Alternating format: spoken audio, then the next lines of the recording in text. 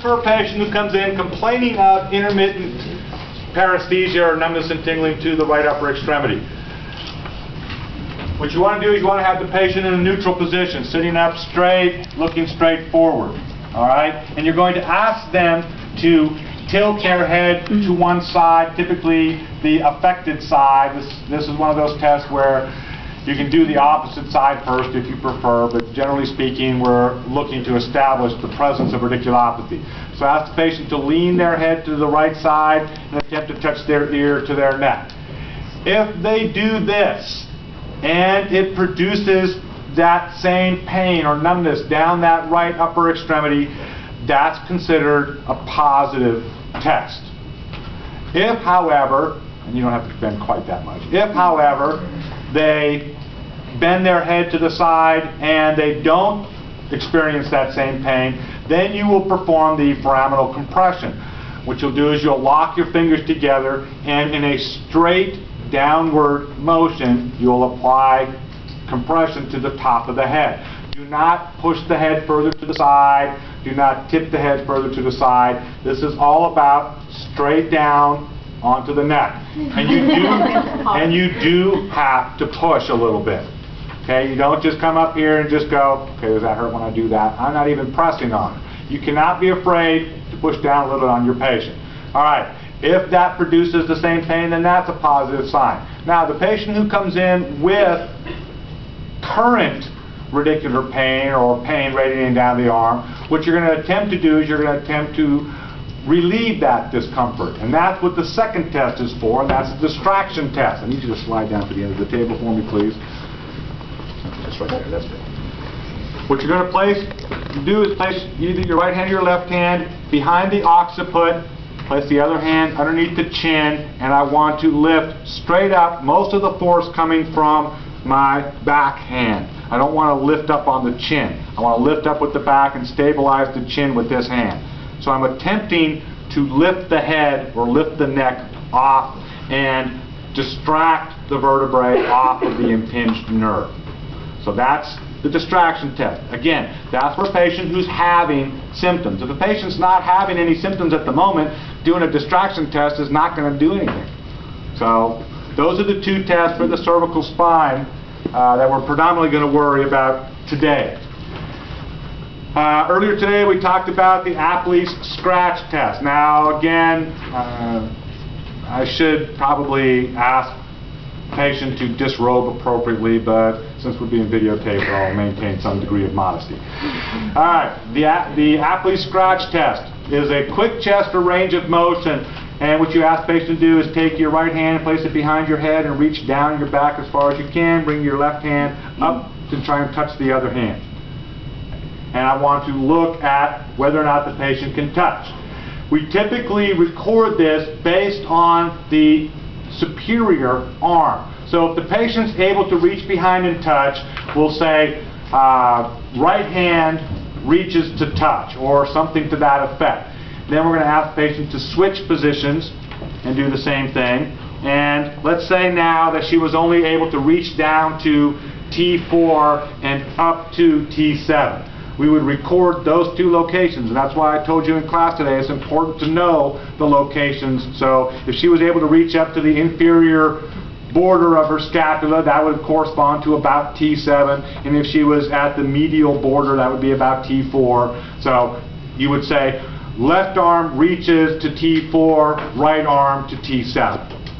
Okay? Most people would figure out that the right arm isn't coming all the way down to T7 and the left arm all the way up to T4. You always start with the upper arm. Okay, so you can relax. So that's the Apley's scratch test. You're attempting to scratch your back, basically. The anterior instability or apprehension test. What you're going to do with the anterior instability or apprehension test is you're going to abduct the arm to 90 degrees. You're going to flex the elbow to 90 degrees. And I'm going to apply anterior force on the proximal humerus. The biggest problem, stand up for me please, biggest problem that people have with this particular test, come over, is they press on the shoulder rather than the arm. If you're pressing on the shoulder, you're not going to do anything for this patient. So I have to apply anterior force to the proximal humerus. And what I'm attempting to do is I'm attempting to distract the bone forward while I'm externally rotating it. So that's what I'm doing. I'm pushing forward and externally rotating. And I'm, gonna, I'm doing this from behind so you guys can all see it. But in a normal patient, I would be doing it from a position where I could watch their face and observe for any signs of apprehension as well as feel for any laxity in the shoulder. Does that make sense? Yeah. Um, do you want them supine? It says supine. You can do this in the standing position, and I was going to demonstrate that, but thank you, Dr. Finley. Uh, you can also do posterior distraction in this position as well. Or you can have your patient lay down. If they can't stand up for whatever reason, or you don't feel comfortable doing this with them sitting down, you can do the same thing here. The, the difficult process here is if you're going to do posterior, you're going to be pushing into the table, and you're not going to do that. For anterior, you're going to want to externally rotate and lift up on the shoulder. Okay? The whole idea with the apprehension test, watch their face for that look of apprehension. They're not going to want you to do that. Person who has a nice stable shoulder, they're not going to change their expression all that much. Okay? Inferior instability test, one of my favorite tests. Go ahead and slide all the way to the end. And what I'm looking for here is, I'm looking, I find the acromion process, and I want to look just underneath or just inferior to the acromion as I apply downward traction to the arm. And rather than grasping it at the wrist, which is going to pull a lot of stress on the elbow, grasp at the elbow, and I want to apply negative pressure. And did you see that little bit of indentation that occurred when I did that? Okay, that's what you're looking for is that that indentation, that sulcus that forms in there. And you can't, she can't see it when, if she turns and looks at it, it won't do it. But you have to have the patient relaxed. Some people, you'll see a nice divot form in their shoulder. So that's the inferior instability or sulcus sign. And you'll all get a chance to look at each other, and we'll find a couple of people in here, I'm sure, that will do this. All right, the next test is the Speed's test. And with the elbow fully extended, okay, and that's the, one of the key components. When you do these tests, make sure that you do them with the patient properly positioned. So with the patient's elbow fully extended and with the patient's, is that the next one? Okay, yeah, uh, I'm surprised we got to the Speed's test already, that's all. And with the hand supinated, all right, you want to resist flexion and feel over the bicipital groove. So bend your arm for me, and I'm going to resist that, and I'm going to feel over the bicipital groove to see if there's any grading or if there's any inflammation over that bicipital tendon.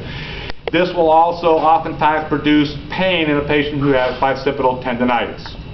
All right, so that's Speed's test. Yergason's test, we're going to flex the elbow to 90 degrees, and with the forearm pronated, you're going to resist supination and pronation, or I'm sorry, supination and flexion. So I'm palpate here. I'm going to ask the patient, what I want you to do is I want you to turn your hand palm up and bend your arm up for me at the same time. So turn your hand palm up and bend, okay? And it's not a contest, okay?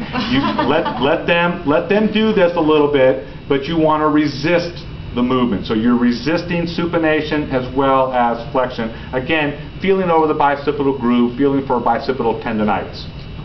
All right? So that's Yergason's. Question. Sir? The one above is speed. What's SLAP lesion?